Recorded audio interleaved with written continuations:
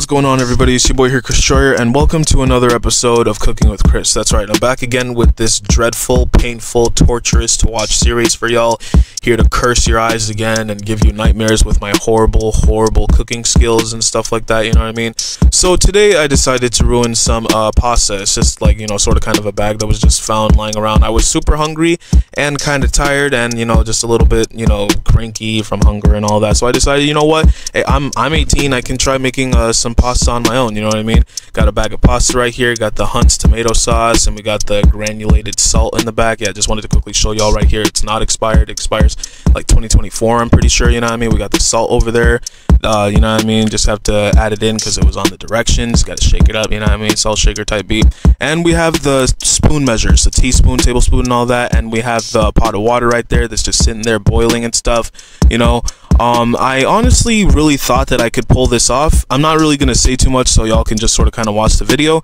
But the, you know, what the fact of the matter is, I tried my best, and uh, yeah, just follow me along as I quote unquote cook, or at least attempt at cooking this pasta right here. So without further ado, let's get into it. So as you can see right here in this clip, I was able to get the water to like a rolling boil. The fact that I had to search up what a specific rolling boil was before even attempting this or getting into it already goes to show y'all where I'm at in terms of cooking level. You know what I mean? So I got it to a rolling boil. It was steaming and all that. Had to take the top off. Pause. Uh, you know, had to pour in the pasta because you know obviously you got to pour in the pasta in order to boil it or to cook it. You know what I mean?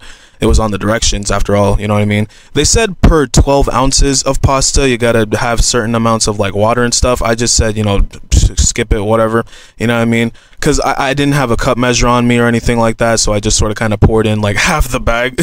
you know what I mean? So anyway, right here I took out my tablespoon. I had to bring it extra close to the camera so that y'all knew it was a tablespoon. So then I took it, just poured in some uh, salt on it, then just poured it right in. You know what I mean? Then I got to stirring and stuff. You know, gotta make sure it was all in there. And then while that was happening, uh, I opened up the can of Hunt sauce. You know, preparing to use it um, incorrectly as I I'm gonna show you guys a little in a little bit. That stutter was egregious and I could very much edit it out if I wanted to, but I'm gonna just leave it in because why not? Anyway, as you guys probably anticipated, the water accidentally boiled over and I accidentally ended up spilling some. My mom even had to remind me to quickly turn it off because yeah, I'm just really that stupid. I'm just really that guy. You know what I mean? I'm not gonna lie, bro. I pretty much knew that this attempt at cooking was gonna be doomed from the start because apparently I didn't learn from last time. You know what I mean? Y'all remember the hamburgers? In fact, I'm gonna put a little bit of a flashback here to jog you guys' memory.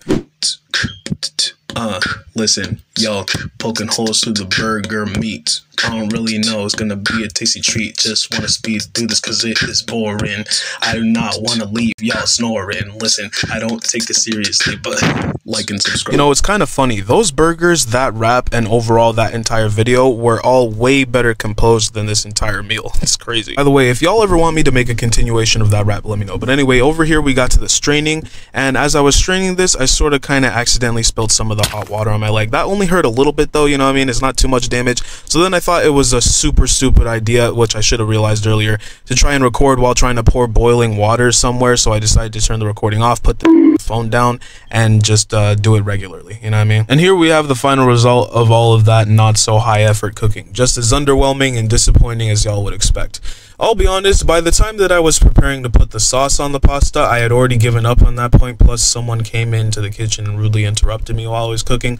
And I was just really like, you know, I, the hunger was really starting to get to me. So I just decided, you know what? Let me open up the can of uh, uncooked because apparently I was supposed to cook it, which my mom came in and corrected the uncooked sauce, and I just straight up poured it into the bowl along with the pasta and mixed it in. You know what I mean? I uh, deep down I knew that there was extra steps with the pasta sauce. I knew you were supposed to do something else, but I was literally so hang- angry, hangry. Hangry is even the correct word. I was so angry that I was just really getting close, that close to eating this stuff. You know what I mean? But luckily, my mom came in clutch to save the day, and she just overall redid the entire thing. You know what I mean? So I ended up eating a delicious uh, bowl of her pasta instead of mine, which was so terribly cooked that I probably would have gotten food poisoning. You know what I mean? So you know, shout out to my mom. Appreciate her. You know what I mean? Love her. Love her all the way to the bank. You feel me? But anyway, I love you guys. Thank you guys so much for tuning into this probably final episode of Cooking with Chris. Y'all are probably saying in the comments who let this dude cook. You know what I mean? Honestly, No one. Like I cooked this on my own volition, and I it was even a mistake. It probably, it definitely would have been a bad idea to actually eat that food. I'm so glad I just. My mom just told me straight up, yeah, just throw it. I'll help you cook. You know what I mean? Really grateful to her for for doing that because I was really hungry at the time. I just woken up, not breakfast. But anyway, I'm going on a little bit of a tangent here. Thank you guys for tuning in. Be sure to leave a like, subscribe, uh, turn on notifications for more videos and stuff like that. And until the next video, I'm gonna see y'all soon. And peace out.